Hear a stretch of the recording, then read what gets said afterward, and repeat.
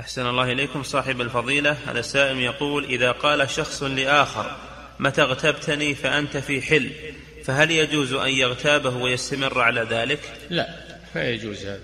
ولو قال أنت في حل إذا اغتبته ما يجوز. الحرام لا يحل بتحليل أحد. نعم فالغيبة حرام. نعم.